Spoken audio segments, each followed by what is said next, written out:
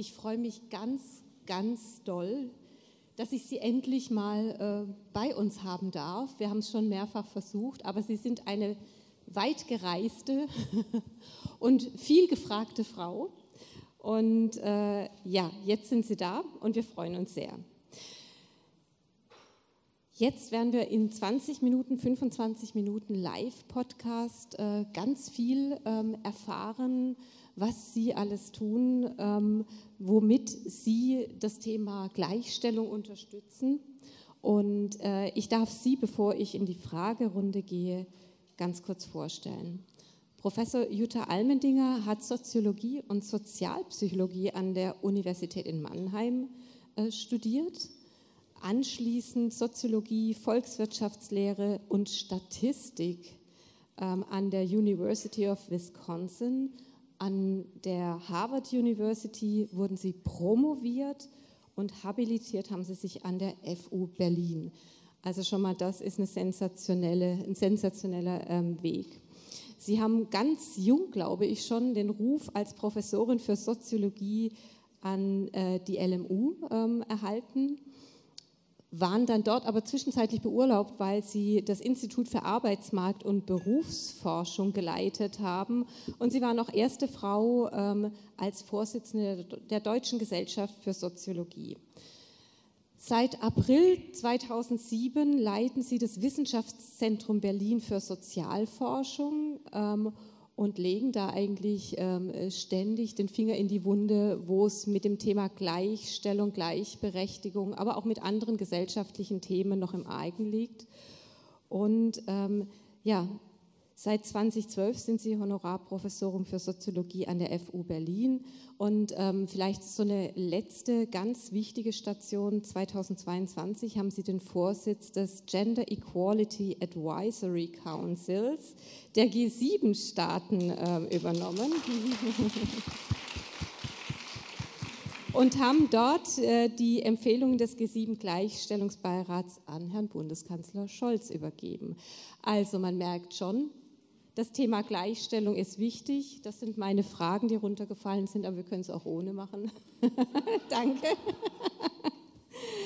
ähm, was ich noch sagen wollte, ich habe in der Vorbereitung für dieses Podcast-Interview mir ein sehr langes Interview mit Ihnen äh, vom Zeit-Podcast äh, angehört und ähm, habe dann festgestellt, Sie sind wahnsinnig schlagfertig und das mit einem Witz und einem Charme, ähm, das seinesgleichen sucht.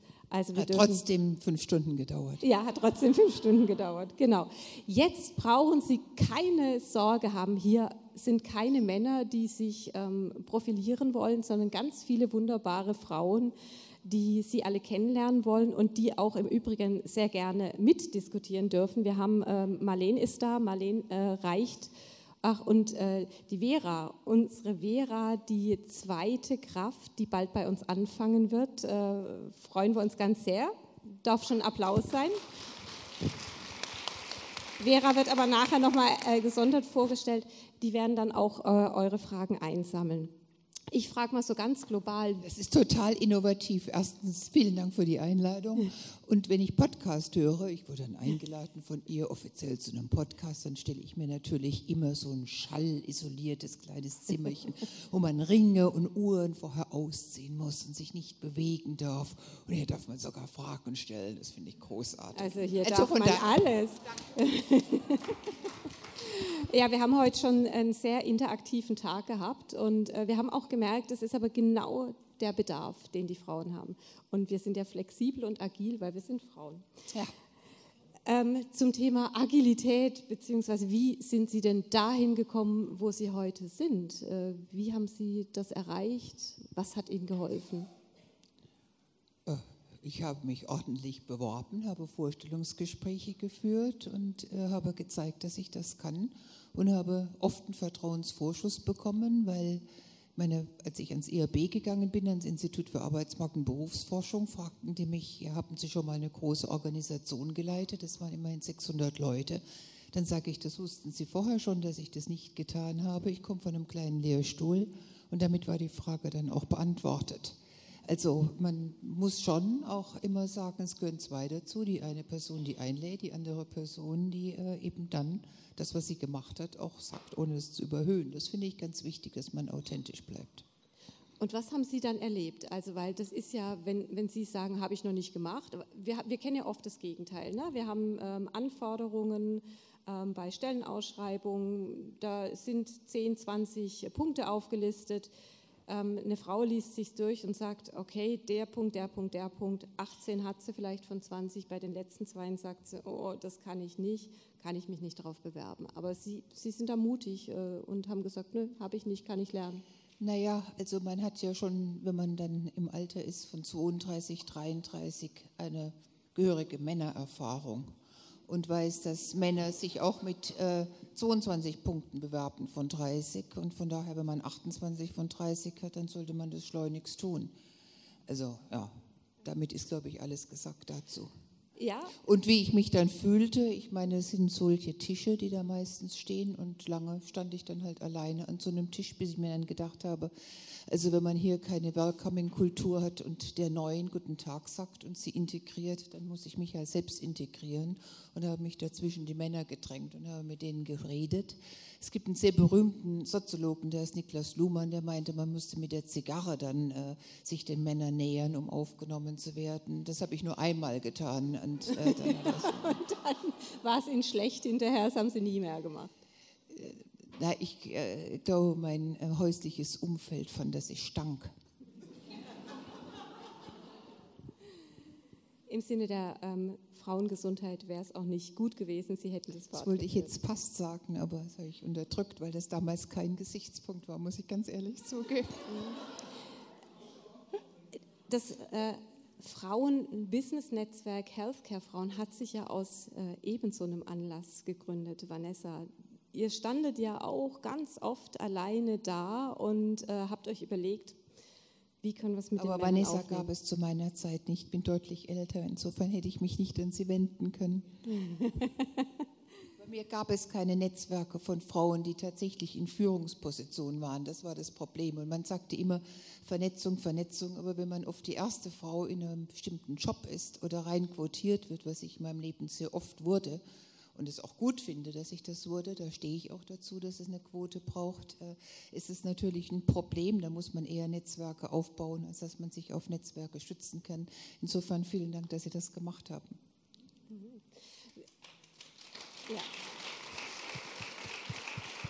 Trotzdem brauchten Sie ja Netzwerke. Wie haben Sie sich dann in andere Netzwerke, in Männernetzwerke begeben? Wie welchen Tipp können Sie den Frauen naja, geben? Sie hatten ja meinen amerikanischen Ausflug erwähnt, der dauerte sieben Jahre und die amerikanische Kultur auch der Frauenintegration auch an Universitäten ist eine vollkommen andere als in Deutschland. Und ich glaube, ich hätte weder ein Kind auf einer Professur gekriegt, noch wäre ich auf eine Professur gekommen. Äh, ohne diese Vorbilder zu haben, weil ich zu diesem Zeitpunkt, wo ich mich nach München beworben habe, einfach wirklich nicht die Qualifikation hatte. Ich hatte nicht diese Habilitation.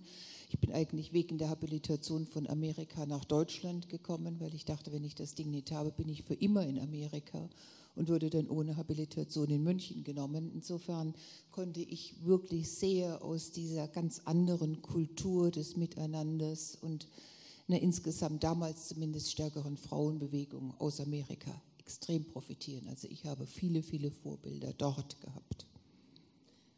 Und wann hatten Sie den Eindruck hier in Deutschland, da läuft irgendwas schief? Ähm, wir sind längst noch nicht gleichberechtigt.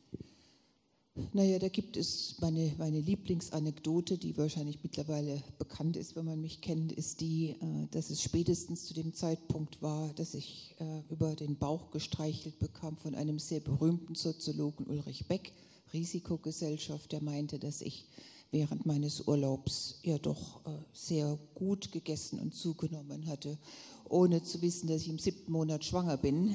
Und das war tatsächlich so, dass ich dann mitgeteilt bekam, dass ich die erste oder fast die erste Person oder vielleicht die erste Person, die auf einer Professur war, überhaupt ein Kind bekam. Also erstens gab es ganz wenige Frauen und wenn Frauen berufen wurden, dann zu einem späteren Alter. Also das, was heute glücklicherweise gang und gäbe ist, dass man die Juniorprofessorinnen oder W2, die dann auch während sie diesen Job ausüben, ein Kind bekommen. Das gab es 92 nicht in der Landeshauptstadt München. Jetzt äh, haben Sie gerade noch äh, erwähnt München. Ja, das ist wahrscheinlich auch nochmal ein Unterschied, ob man hier in Berlin ähm, sowas die, anstrebt. Ja, der Anzahl von Professoren in Berlin war auch nicht sehr viel höher. Okay. Sie ist ja jetzt erst bei, wenn Sie alle Professuren zusammennehmen, bei 27 Prozent. Das war damals also eklatant niedriger.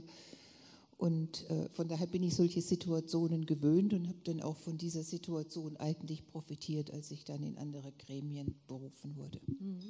Jetzt sind wir aber auf einem guten Weg, nur wir sind noch lange nicht gleichberechtigt. Es gibt auf den Professuren noch nicht äh, angemessen viele Frauen, paritätisch schon gleich gar nicht. In der Politik nicht, in führenden Positionen. Wir haben das Führungspositionengesetz 1 und 2. Wir haben jetzt ähm, zumindest die Erwartung, dass in den Vorständen der gesetzlichen Krankenversicherung, in den äh, Körperschaften des öffentlichen Rechts, in den KV, in den KZV und KBV, äh, KZBV, dass wir da Frauen reinkriegen. Aber ähm, was haben Sie beobachtet? Warum geht es in Deutschland so langsam? Was ist der Grund? Na, wir haben äh, zwei große Gründe. Das eine sind strukturelle Rahmenbedingungen, die äh, immer noch, Stichwort Ehegattensplitting, kostenlose Mitversicherung, Stichwort unzureichende Infrastruktur für Kinder, Stichwort Halbtagsschulen für Kinder, Stichwort Pflege von äh, den Eltern. Äh, das ist alles äh, im Vergleich zu anderen Ländern sehr stark äh, ausgerichtet auf eine, einen Erwerbspersonenhaushalt, also der Mann meistens arbeitet und die Frau nicht oder maximal der Mann arbeitet und die Frau arbeitet Teilzeit. Äh, dann kann man sozusagen das alles leben. Äh, wenn man äh, zwei Karrieren anstrebt und meistens sind es dann zwei, ähm, dann geht es in die Hosen. Dazu kommen wir nachher nochmal. Das ist sozusagen der eine strukturelle Grund. Und der andere Grund ist der damit verbundene kulturelle Grund. Wir haben in Deutschland das Wort der Rabenmutter. Und das Wort der Rabenmutter ist immer noch da. Das ist nicht weg. Das ist in unserem Kopf drin. Und wir machen sehr viele Experimente am Wissenschaftszentrum Berlin. Und ein, das, mich nach wie vor ganz wirklich unglücklich macht und konsterniert, ist, dass wir äh, Initiativbewerbungen schicken an Organisationen äh, und einmal, die sind natürlich gefaked, und einmal setzen wir einen Männernamen ein und einmal setzen wir einen Frauennamen ein, sonst sind die Bewerbungen absolut identisch. Und das Zweite, was wir variieren, ist die Dauer der Abwesenheit. Also die nehmen zwei Monate Elternzeit oder zwölf Monate Elternzeit. Und dann warten wir, wer eingeladen wird zu einem Bewerbungsgespräch. Und dann sehen wir, dass Frauen, die zwölf Monate Elternzeit nehmen, eher eingeladen werden als Frauen, die zwei Monate Elternzeit nehmen. Und wenn wir dann fragen, was ist das eigentlich, was, was liegen da für Gründe dahinter, dann sagt man ja, aber die Mutter mit zwei Monaten Elternzeit, also dieses Kind, also diese Unzuverlässigkeit, dieses Überambitionierte, ob sie denn äh, mit dieser Motivation und äh, so etwas überhaupt und dem Ehrgeiz in unser Team passt. Ja, also das ist immer noch dieses Mütter brauchen die Kinder und müssen sich darum kümmern. Den Kindern geht es ganz schlecht, wenn die Mütter nicht länger. Und bei Männern, äh, entgegen dem, was man immer sagt, dass es Männern schadet, dass sie zwölf Monate war, äh, sozusagen, da gab es überhaupt gar keinen Unterschied. Man kann es ein bisschen sozusagen professioneller ausdrücken und kann äh, sagen, dass wenn Männer sich nicht gemäß den Normen für Männern äh, verhalten, also zwölf Monate rausgehen, dann macht es nichts. Aber wenn Frauen sich entgegen der Normen dessen, was man als eine gute Frau erachtet, verhalten, dann schadet es ihnen. Das heißt, wiederum anders gedreht, es gibt eine No-Win-Situation, weil entweder bleiben Frauen lange aus dem Arbeitsmarkt raus, nehmen dann Teilzeit und sind eine gute Frau, eine gute Mutter, haben dann aber eine geringere Chance, in Führung aufzusteigen und haben eine geringere Chance, eine ordentliche Rente zu erarbeiten. Oder Frauen spielen, das Spiel bleibt eine kürzere Zeit äh, in Elternzeit, gehen wieder auf Vollzeit und dann sind sie aber die schlechte Mutter. Und das ist eine Situation, die sie so in dieser Schärfe in all unseren Untersuchungen in anderen Ländern nicht haben. Und diese Interaktion zwischen Kulturen und Strukturen bedingt dieses langsame Moment und natürlich auch das, was ich als Retraditionalisierung gekennzeichnet habe. Während der Corona-Zeit, da ist die Infrastruktur weg und dann sieht man die Situation heute ist nicht auf eine Umverteilung zwischen Männern und Frauen oder Vätern und Müttern, sondern ausschließlich die Infrastruktur entlastet die Männer äh, und das war's und dann fällt alles wieder zurück. Und wir sind noch nicht durch. Also ich sehe ganz, ganz viele Anzeichen dessen, dass wir äh, nicht den Status quo vor Corona erreicht haben. Da schließt sich natürlich gleich die Frage an, was können wir tun? Wir sind hier ein Netzwerk, wir werden gleich noch ein Panel haben wo wir verschiedene Netzwerke nochmal da haben. Wir haben uns zusammengeschlossen, 12, 13 Frauennetzwerke, die jetzt gemeinsam. Das finde ich super. Ja, danke. Also auch wirklich an alle, die da mitwirken.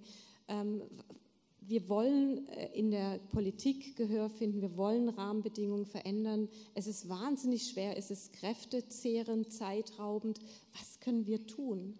Äh, nicht aufgeben und sich weiter vernetzen. Weil wir haben jetzt die Situation, dass wir sehr, sehr viele Frauennetzwerke haben und normalerweise besteht ein einziges Netzwerk ja aus äh, Frauen, da können jetzt auch Männer sagen, die äh, ähnliche Professionen haben, äh, die sich in irgendeiner Weise ähnlich sind. Deshalb gehen sie in dieses Netzwerk.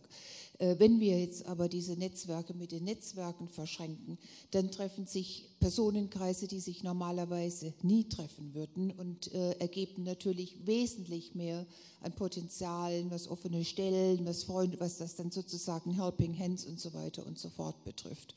Und genau das ist eine Situation, die wir brauchen. Das ist im Übrigen bei Stiftungen bei allem auch so. Äh, und diese Überschneidung von, von sozialen Kreisen oder in diesem Fall Netzwerkkreisen, das ist etwas, was Frauen ungemein hilft. Also ich sehe das selbst, ich coache viel, ich coache auch Leute, die in der Archäologie sind, wo ich am Anfang sagte, oh, da habe ich ja überhaupt gar keine Ahnung, das machen wir mal nicht. Aber doch, es gibt so viel an Allgemeinwissen, was hilft. Und es gibt so viel an einfach mal ja, Zuspruch. Versuch's mal und mach's mal so und so, äh, was ungemein hilft, äh, weil man sieht, naja, da habe ich ja eine Person, die das so gemacht hat. Äh, das probiere ich jetzt auch. Und wenn es dann nicht klappt, dann klappt es halt nicht. Aber es ist immer noch besser, als wenn ich es nicht versucht habe. Ähm, vielleicht, bevor wir auf Ihre Forschungsarbeit auch nochmal eingehen und dann die Runde öffnen, ähm, HCF hat ein ganz tolles Mentoring-Programm schon seit vielen Jahren. Wir haben äh, weitaus über 100 Frauen ähm, da schon, ähm, sag ich mal, gecoacht. Ähm, was braucht es stattdessen, also was braucht zusätzlich noch? Also welche, welche Rahmenbedingungen, welche fünf Punkte würden Sie sagen, brauchen wir? Persönliches Netzwerk? Ja. Also Sie haben die Voraussetzungen, Sie brauchen die Voraussetzungen. Also ohne Wissen und eine Ausbildung und äh, so etwas geht es überhaupt nicht. Sie brauchen so etwas wie eine Widerstandsfähigkeit. Also äh, beim ersten Versuch und es klappt nicht, äh, das äh, auf sich selbst zurückzuführen und nicht auf die Rahmenbedingungen ist falsch, aber wir Frauen tun das ganz oft, dass wir zunächst mal an uns zweifeln und uns nicht logisch klar machen, naja, da gab es jetzt so und so viele andere Bewerber und die sind alle besser und ich tauge ja sowieso nichts da. Das haben wir bei Männern nicht äh, in diesem Maße. Dann wissen wir, dass äh, Frauen wesentlich seltener in Wettbewerbe reingehen, als Männer das tun. Das müssen wir auch, da ist die äh, Verhaltensökonomie absolut also das ist ganz klar, also wenn Sie Spiele machen mit kleinen Mädchen und mit kleinen Jungs und sagen, naja, äh, wenn du das in einem Wettbewerb gewinnst, dann kriegst du zwei Tafeln Schokolade. Äh, und wenn du ansonsten die gleiche Aufgabe machst, aber ohne Wettbewerb, kriegst du eine Tafel Schokolade. Dann gehen alle Männer in den Wettbewerb und gewinnen die zwei Tafeln Schokolade und alle Frauen gehen nicht in den Wettbewerb und gewinnen die eine Tafel Schokolade. Da müssen wir, glaube ich, an uns arbeiten. Also das ist nicht, dass das so ein Vorurteil ist, sondern es ist tatsächlich belegt. Wir müssen lernen zu verhandeln. Auch das wissen wir aus der Verhaltensökonomie, wenn äh, unter äh, einer Stellenanzeige, und das macht er jetzt ja äh, Furore mit der ungleichen Bezahlung auf der gleichen Position, dass äh, da äh, ein Gehalt stand, die Frau hat nicht verhandelt, der Mann hat verhandelt, hat dann diese 1500 Euro mehr bekommen. Äh, einfach verhandeln. Also es ist natürlich auch die Aufgabe von Arbeitgebern, dann entweder zu sagen, Verhandlungssache oder nicht. Insofern fand ich das Urteil persönlich richtig. Sie sehen im Moment diese großen Zollwerbungen für äh, Auszubildende, wo dann drunter steht, keine Verhandlungssache. Dann fangen auch Männer nicht an zu verhandeln. Aber wir haben da äh, nicht nur eine Bringschuld von den Frauen, sondern auch eine Bringschuld von den Arbeitgeberinnen und Arbeitgebern. Aber durchaus auch sich mal vorzuwagen, das finde ich wichtig. Und äh, dann äh, geht das Ganze nicht ohne Netzwerke, ohne Freundinnen, ohne Freunde, ohne auch auf sich selbst aufzupassen. Also rund um die Uhr zu arbeiten, das ist so ziemlich das Falscheste, was man machen kann. Man braucht Ruhezeiten und wenn man merkt, dass man anfängt zu überarbeiten, muss man sich zwingen, mal aufzuhören damit. Also das ist das, was ich äh, gelernt habe. Wir steigern nicht unsere Produktivität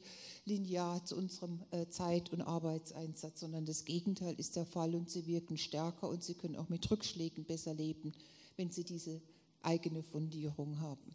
Ich habe sogar von einer Studie letzte Woche gehört, dass ähm, Menschen, und das waren vor allem Männer, die ihre, gesamte Urlaubs, ihre gesamten Urlaubstage genommen haben, plus Überstundenausgleich weitergekommen sind als die fleißigen Bienchen, die halt dann trotzdem noch mal einen ja. drauf geschafft haben. Ja, deshalb finde ich die ganze Diskussion mit den Arbeitszeiterhöhungen absolut Quatsch, wenn Sie sich die Frühverrentung, ich meine, ich habe ja hier die Fachfrauen vor mir, wenn Sie sich das anschauen, wenn Sie sich die psychischen Belastungen anschauen, wenn Sie sich anschauen, wie viele Mutter-Kind-Kuren im Moment in der Beantragung sind, dann sehen Sie, äh, zu welchen Folgewirkungen diese äh, Überarbeitung äh, führt und wie wichtig äh, diese Balance ist, so abgedroschen dieses Wort ist. Äh, aber ich arbeite zum Beispiel an Wochenenden wenig. Also ich kann jetzt nicht sagen, dass ich nichts äh, arbeite, aber wenig und das hilft und das bedarf eines Selbstmonitorings. Das sagt Ihnen niemand jetzt mal nicht. Insofern nur auf Netzwerke und nur auf Außen, man muss auch das Innen haben. Jetzt kommen wir nochmal auf äh, Ihr letztes Buch vielleicht. Es geht nur gemeinsam, wie wir endlich Geschlechtergerechtigkeit erreichen. Ja, wie erreichen wir sie? Naja, äh, der Ausgangspunkt war Corona, äh, überhaupt gar keine Frage, aber es ist eigentlich in den Folgen äh, fast aktueller heute, als es damals war, weil es ja ein eigentlich flammendes Plädoyer dafür ist, dass wir eine Gleichverteilung brauchen von bezahlter und unbezahlter Arbeit zwischen Männern und Frauen. Weil wenn Sie die unbezahlte Arbeit nicht durch zwei teilen, dann können Sie auch nicht die bezahlte Arbeit durch zwei teilen. Das führt natürlich genau zu diesen Überforderungen, sie können keine sozialen Kontakte mehr halten, sie haben, wenn sie Kinder haben, gar keine Zeit, sich mit denen zu beschäftigen. Warum will man dann Kinder haben? Äh, also insofern äh, ist es eigentlich ein Plädoyer, das zu machen, was Männer von sich im Moment immer und immer wieder sagen, dass sie nicht das Leben ihrer Väter und ihrer Großväter führen wollen, sondern dass sie auch eine partnerschaftliche Beziehung und da müssen wir sie packen, ja. Und das heißt aber eher eine Umverteilung von äh, der Arbeitszeit für Männer, von denen wir bis heute sehen, dass nach der Geburt eines Kindes ihre Arbeitszeit steigt und sie unendlich viele Überstunden nehmen. Die Frauen gehen runter äh, zu einer gleicheren Verteilung von bezahlter Arbeit. Dann sind wir bei einer 35 Stunden oder 34 Stunden Woche, die sich wesentlich besser äh, handeln lässt und äh, wo man Zeit für sich hat, Zeit für die Kinder hat äh, und äh, beides haben kann. Das ist aber genau der Weg, den wir im Moment nicht äh, begehen, weil wir sagen, ho, der Gender Pay Gap, ho, der Gender Care Gap, der Gender äh, Pension, all das lässt sich nur schließen, indem alle Frauen wie Männer werden. Und das ist der falsche Weg, weil sie können nicht von einem, ich hatte das vorhin gesagt, sie können nicht von einem Sozialstaat, der so ausgerichtet ist, dass eine Person 100 Prozent arbeitet und die andere Person eigentlich den ganzen Rest macht aber zu 0 Prozent erwerbstätig ist, zu einem Sozialstaat kommen, wo beide Personen 100 Prozent erwerbstätig sind, aber trotzdem die gesamte andere Zeit auch noch gemacht wird. Das ist ja, oder die ganze andere Arbeit auch noch gemacht wird. Das ist eine vollständige Fehlvorstellung, aber wir führen diese Diskussion nicht. Wir beklagen diese Lücken, die sind da und die sind schrecklich, aber wir führen diese Diskussion nicht, von welcher Seite diese Lücken geschlossen werden sollen, beziehungsweise implizieren, diese Lücken können nur geschlossen werden, wenn Frauen in die Männerjobs gehen, wenn sie Vollzeit arbeiten, wenn sie Überstunden machen und so weiter und so fort, ohne dass die Männer sich überhaupt ein Stückchen zu den Frauen hinzubewegen haben. Und in dem Buch habe ich das mal historisch anhand meiner eigenen Familie gemacht. Diese Männer haben sich nie bewegt. Diese Männer haben sich immer Vollzeit durch über Generationen hinweg, während die Frauen sich sozusagen bewegt haben. Mit jeder Generation hat die Frau mehr gearbeitet. Und ähm, wir brauchen, also bevor wir zur Schließung dieser ganzen Gaps kommen, brauchen wir erstmal solche Grundsatzdiskussionen, die sich dann nicht nur in der Infrastruktur für Kinder, die brauchen wir, wir brauchen auch bessere Schulen und alles, aber wir brauchen auch eine andere Arbeitsmarktkultur. Und da müssten Sie eigentlich die Treiber sein, weil Sie wissen, wie sehr Arbeit und Gesundheit miteinander zusammenhängen. Und wenn man mir im Moment sagt, ja, aber wir brauchen wegen der demografischen Entwicklung jetzt eine höhere Vollzeit für alle bis zum Alter von 67, dann kann ich mit neuen Daten antworten, dann hören die Frauen auf, Kinder zu bekommen. Und das Ergebnis ist, dass die demografische Entwicklung sich noch verschärfen wird. Das kann nicht das also Ziel und auch ist ja kein Ergebnis, welches man haben möchte. Vielen Dank. Ich würde, also das ist so viel geballtes Wissen. Ähm, ich, ich, bin, ich, ich wüsste gar nicht, was ich noch alles fragen wollte, aber ich gebe jetzt gerne mal in die Runde. Habt ihr Fragen? Traut euch. Ja? Ja, ich habe eine Frage und zwar, ähm, wenn ich darüber nachdenke, wie wir als Frauen vor allem in der Kindheit erzogen worden sind, dann sind ja die meisten eher zu äh, sportlichen Tätigkeiten, die wenig in Berührung mit anderen gegangen sind, also diese klassischen Fußball, Handball, die ja doch sehr körperlich in der Auseinandersetzung sind. Und was ich spannend finde, ist, das ist ja ein Punkt, wo wir Auseinandersetzungen, Konflikte, vielleicht auch Verhandlungen um Punkte äh, bereits lernen, wie sich das auswirken könnte, wenn man da auch noch mal gezielter die jungen Mädchen fördert, das zu machen wie auch die Jungs. Ja. Deshalb unterstütze ich sehr stark Victoria Berlin äh, als Frauenfußballverein. Das ist also das ist nicht nur da, wir sehen das auch äh, als eine mittel- und langfristige Wirkung, wie ich befürchte, von Corona, dass genau diese persönlichen Auseinandersetzungen fehlten und dass dadurch äh, viele, gerade junge Frauen, also ich sitze an meinen Studierenden, aber natürlich, wenn ich jetzt Lehrerin wäre, würde ich es noch mehr sehen äh, bei noch jüngeren Personen, die äh, diesen, ja, die eine Streitkultur, eine Auseinandersetzungskultur verloren haben. Und das ist eine ganz schädliche Entwicklung. Und Kinder schon früher und junge Erwachsene in dieses, ja, in, in, konstruktive Konflikte reinzubekommen, ja, dass sie das auch lernen, eine Konfliktfähigkeit, das ist absolut notwendig und wir müssten das meines Erachtens auch primär in Schulen dann nochmal reinbringen. Und Sport ist eine Möglichkeit, aber es gibt ja auch noch andere Formen. Mhm. Ganz kurz die Frage, wie wie viel Zeit haben Sie noch? Können wir noch zwei, drei Fragen ja, machen? gerne. Okay, super. ja, meine Frage, meine Frage wäre, ob denn die Frauen sich nicht einfach die falschen Männer suchen. Weil gerade im akademischen Bereich würde ich sagen, da hat man auch die finanziellen Möglichkeiten, um sozusagen Familie zu organisieren. Auch haben Sie natürlich recht, es wird immer auch diejenigen geben, die sagen, ich möchte mich äh, länger der Erziehung des Kindes widmen, aber da sehe ich zumindest auch eine Retraditionalisierung, dass man viel zu wenig die, die Männer in die Pflicht nimmt, die mit uns durch die 80er, 90er, 2000er gegangen sind und eigentlich weiter sein müssen. Und dass die Frauen selbst äh, ein bisschen auch Schuld tragen an der Situation, wie sie jetzt ist. Und dass Frauen, die vielleicht in Jobs sind, die nicht so hoch bezahlt sind, äh, da stellt sich die Frage oft gar nicht, weil dann muss man arbeiten, um in einer Stadt wie äh, Berlin, Frankfurt, Hamburg oder München seinen Lebensunterhalt zu bestreiten. Insofern würde ich sagen, man macht es sich sehr einfach, wenn man ähm, sehr viel lamentiert, dass die Rollen noch so sind, wie sie sind, wenn man nicht selbst im Kleinen schon anfängt und seinen Mann dann auch in die Pflicht nimmt und sagt, auch du kannst jetzt ein bisschen zurückstehen und ich mache Karriere oder wir machen beide Karriere, wie kriegen wir das hin?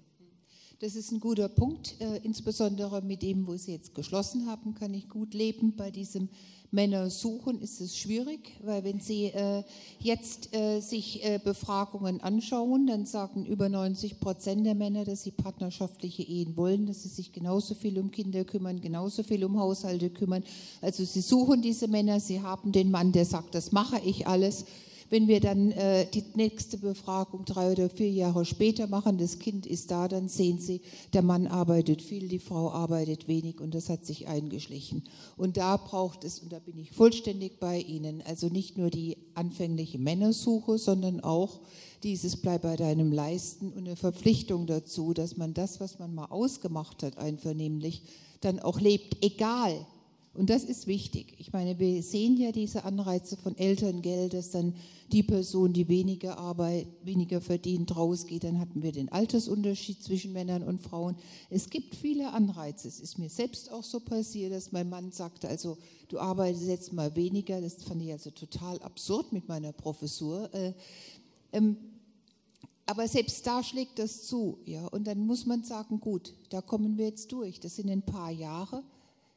Aber in diesen paar Jahren mache ich diesen Aufstieg und dann verdiene ich nachher mehr und jetzt machen wir es mal gemeinsam. Also wir müssen einfach diese finanziellen Anreize, diese strukturellen Rahmenbedingungen liefern. Ehegattensplitting, bla bla bla. Dann auch sagen, das schlucken wir, solange die Politik das nicht für uns einkassiert, was völlig unverständlich ist.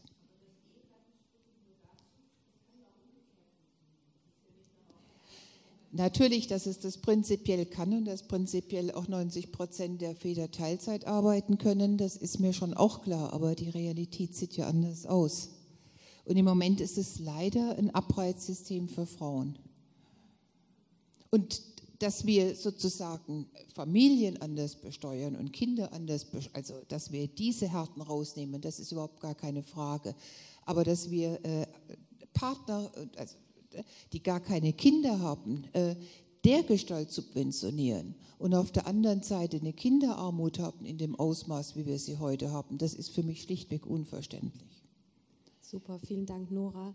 Und dann äh, Katharina. Meine Frage geht auch in das Kulturelle. Ich fand das gerade interessant, wie Sie gesagt haben, die Rahmenbedingungen, klar, da müssen wir noch ganz viel tun, aber auch im Kulturellen. Und wenn wir das beobachten, dann geht es aus meiner Sicht so unfassbar langsam. Ähm, also wir setzen Impulse, wir machen Fortbildung, wir machen Mentoring, wir, wir unterstützen, wir machen Mut, wir brauchen Vorbilder. Aber alles dauert so lange. Ähm, haben Sie da noch irgendwelche. Also Input? da würde ich jetzt bei Ihrer Vorrednerin ja. anfangen. Also wir machen dieses Anti-Bias-Training, äh, ja. weil äh, viele jetzt gerade diese akademischen Männer, äh, also ich, wir wissen ja oft wir, wir sind ja so aufgezogen worden mit diesen Stereotypisierungen. Wir haben die alle in uns. Es gibt einen Test, den können Sie auch selbst im Internet machen. Der heißt Implicit Association Test. Ja, und da müssen Sie bestimmte synaptische äh, Verbindungen machen zwischen Männernamen und Jobs. Ja, und Sie machen die schneller. Sie sind einfach so viel schneller, einen Männernamen mit einem Männerjob und so weiter und so fort zu verbinden.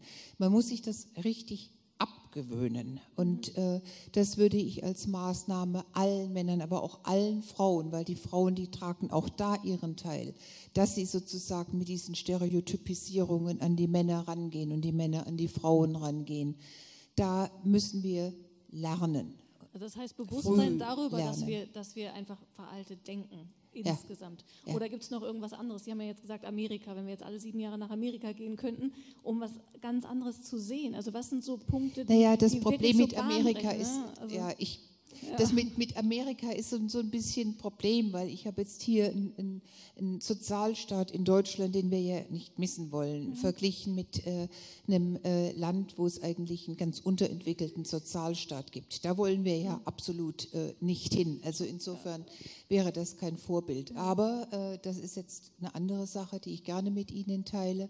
Ich war relativ jung, als ich war noch, also das war noch vor meiner Professur, sollte ich mal eine Untersuchung machen, warum es so wenige Frauen in der Max-Planck-Gesellschaft gibt. Und äh, insbesondere die Frage beantworten, warum, wenn man äh, die Personalstatistiken sich anschaut, so viel mehr Frauen Kinder haben, als wenn man Umfragen in der Max Planck macht. Wenn man die Umfragen gemacht hat, hat man irgendwie ganz, also das waren über 50 Prozent weniger Kinder, als wenn man tatsächlich die Personalbögen, also die tatsächlichen administrativen Daten sich anschaute.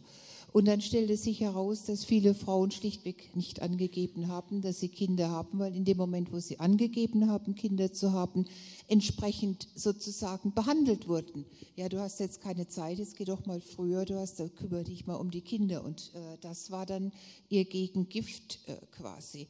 Damals äh, hat äh, Herr Baltes, das war der Leiter dieses Max, oder der Direktor des Max-Planck-Instituts, mir gesagt, lassen Sie uns das doch mal so machen, dass wir auf die Tagungsstätte von Max-Planck-Gesellschaft äh, alle Frauen mit Kindern in Führungspositionen einladen und dann sehen die anderen Frauen, das geht doch. Das fand ich als junge Frau, also ich war da vielleicht 28 oder so etwas ganz schrecklich. Das, das kam mir vor wie im Zoo, äh, dass ich diese Frauen mit, also mit, mit Kindern da ausstelle und die anderen laufen darum. Das würde ich heute anders entscheiden. Da würde ich sagen, das ist eine super Idee. Das müssen wir uns überlegen, wie wir das machen. Aber genau solche Vorbilder, die mir später im Leben geholfen haben, die braucht es. Und äh, das sind so kleine Beschleuniger, aber das äh, ist, ich, ich, glaube nicht, dass wir den Beschleuniger haben, aber es sind kleine Beschleuniger. Und wir sollten uns eines nicht einreden lassen.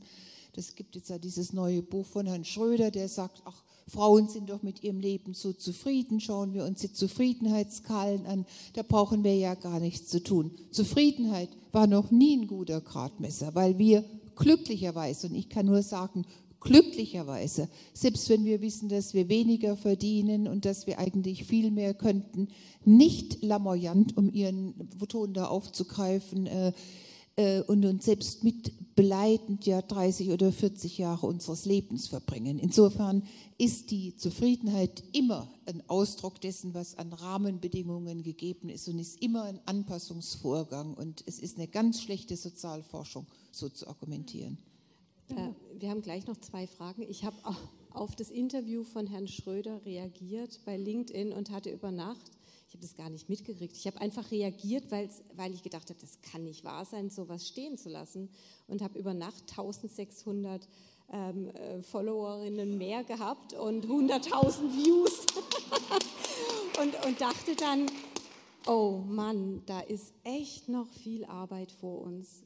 Muss man aufpassen, aber das ist genau diese Retraditionalisierung, die ich auch, das ist jetzt ein Buch, aber ich habe auch den Eindruck, dass sich mehr Männer im Moment getrauen, was gegen die Gleichstellung zu sagen, als noch vor Corona. Äh, die haben das vorher auch gedacht, aber es war nicht mehr etwas, was man sagen darf. Äh, und jetzt kommt es auf einmal. Das kann man auch als gut empfinden, weil man dann besser darauf reagieren kann. Aber es sind solche schleichenden Bewegungen, wo wir arg aufpassen müssen den Eindruck habe ich auch, dass wir ganz doll aufpassen müssen. Wir hatten es vorhin schon, nichts, was wir jetzt haben, ist, sozusagen sicher. Ja? Katharina? Ja, zu Ihrem Buch. Tatsächlich haben mein Mann und ich das so gemacht, wie Sie es in Ihrem Buch beschreiben. Wir haben uns beide Elternzeiten geteilt und wir haben danach beide auf 30 Stunden reduziert. Ähm, das hat uns beide den Job gekostet. Wir sind jetzt beide selbstständig und teilen uns die Care-Arbeit auf, teilen uns die Arbeit und die Care-Arbeit auf und sind eine glückliche Familie so. Unsere Kinder haben Mutter und Vater wirklich gleichwertig und es ist egal, ob ich zwei Tage in Berlin bin oder mein Mann zwei Tage unterwegs ist. Aber der Weg dahin ist wirklich steinig. Und man muss das vorher klären. Ich habe mit meinem Mann über diese Aufteilung gesprochen, bevor ich schwanger wurde. Das, ähm, das muss man wirklich besprechen und ähm, der, das lohnt sich aber der Weg dahin. Also das ist genau das, äh, was vorhin ja schon angesprochen ist. Man muss das vorher besprechen aber man muss dann auch dabei bleiben, also gerade als Frau. Man muss es dann immer und immer wieder sagen und muss sich selbst treu bleiben, auch wenn es temporär so viel leichtere Wege gäbe. Ja, also es gibt ja diese Verlockung, dass man sagt, warum macht man das? Das ist doch jetzt viel leichter bei dem Arbeitgeber, dann machen und, und, und, und Schluss ist. Ja. Und so wie Sie das gemacht haben, das finde ich super. Äh, und ich hoffe ja, dass diese Arbeitsorganisationen sich bald ändern werden, weil äh, es natürlich mittlerweile auch etwas ist, wo äh, zukünftige Arbeitnehmerinnen deutlicher hinschauen, was so eine Organisation fördert und unterstützt und was nicht. wir ändern uns zu einem Arbeitnehmerinnen anstelle von einem Arbeitgebermarkt so langsam Und ich sehe das bei meinen Einstellungsgesprächen immer wieder glücklicherweise, ja, dass solche privaten Sachen äh, dann auch bei Jobinterviews auf den Tisch kommen. Und das finde ich ganz wichtig. Das finde ich wichtig, auch wenn es von gewerkschaftlicher Seite oft gar nicht gerne gesehen wird, äh, dass man nicht nur beim Beruflichen bleibt. Aber beide Seiten gehören zu unserem Leben dazu. Und deshalb äh, muss ich nicht nur die Familie nach der Arbeit, sondern auch die Arbeit nach der Familie richten. Die allerletzte Frage kriegt unsere Ehrenpräsidentin Vanessa Kohnen-Ohnsage. Ja, lieben, lieben, herzlichen Dank. Frau Almendinger, eine, eine Bewegung, die ich als Arbeitgeberin und als Mutter sehe, die, die mich wirklich schlucken lässt, sind junge Frauen, Mitarbeiterinnen, die ich habe und auch zum Beispiel meine Tochter, die sagen, ich will mich an keinen Mann binden, ich möchte Karriere und ich möchte volle Karriere mit großem Erfolg und ich möchte ganz klar keine Kinder. Was raten Sie oder was sagen Sie diesen jungen Frauen?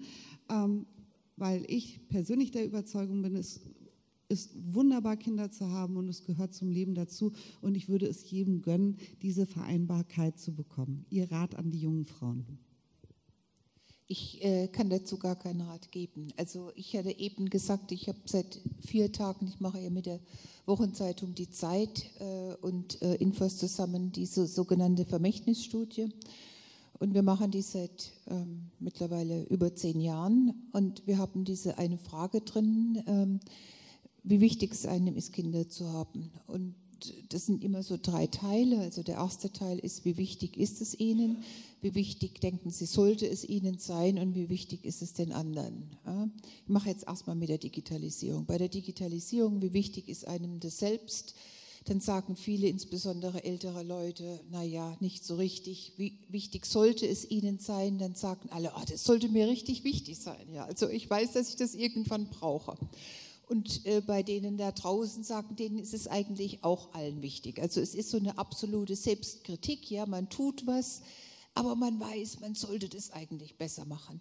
Und was mich jetzt am äh, meisten erschreckt hat, ist genau das, äh, wozu Sie jetzt sprechen, ist, dass die Leute, die meisten Frauen sagen, ich möchte Kinder haben, aber bei der zweiten Frage, finden Sie es eigentlich gut, dass Sie Kinder haben wollen, sagen die plötzlich nein. Nein. Also die kritisieren sich für diesen Wunsch, den sie haben. Das geht um, also wirklich massiv geht das runter. Also was vorher so eine Gerade war, äh, das will man. Und äh, also das macht man und das sollte man auch machen, geht jetzt runter. Also man macht eigentlich was, was man selbst ganz blöde findet. Und von daher muss ich jetzt leider diesen Bogen dahingehend schließen, dass ihre Tochter und die anderen ja eine der wenigen sind, die dann auch machen, was sie denken, dass sie machen sollten. Und das ist das, ja, wo ich, wo ich davor warne, ja, dass wir so eine Kultur implizit schieben, dass wir diese richtigen Durchstatter und diese richtigen Karrieren nur dann machen können, wenn wir auf die Kinder verzichten. Ja, und das ist genau das Gegenteil von früher, aber das kann doch nicht der Weg sein, den wir gehen. Und natürlich kann man auch da die jungen Frauen ermuntern, aber man sollte sie nicht ermuntern und nachher vor den Kopf stoßen und ihnen nicht die Möglichkeiten geben, trotz Kinder Karriere zu machen. Das wäre ja ein falsches Spiel. Und äh, von daher finde ich das ein absolutes politisches Ausrufezeichen, welches Sie setzen und äh, ein Ausrufezeichen an diese ganzen Bewegungen, die wir jetzt im Moment haben, dass um Karriere zu machen, wir dieses äh, ja, Roundabout zu Clark machen müssen. Das macht mir genauso Sorgen wie Ihnen und dass ich das jetzt in einem 4000er Sample repräsentativ so abgebildet sehe, äh, ist schockierend. Vielen Dank. Was können wir als letzte Frage tun, um Ihre Arbeit zu unterstützen? Weil ich glaube, wir haben alle heute gesehen, das ist so wichtig, was Sie machen und ähm, das liegt uns so am Herzen. Äh, meine Arbeit verschwindet dann, wenn Gleichstellung erreicht wird, also kämpfen Sie darum. Danke.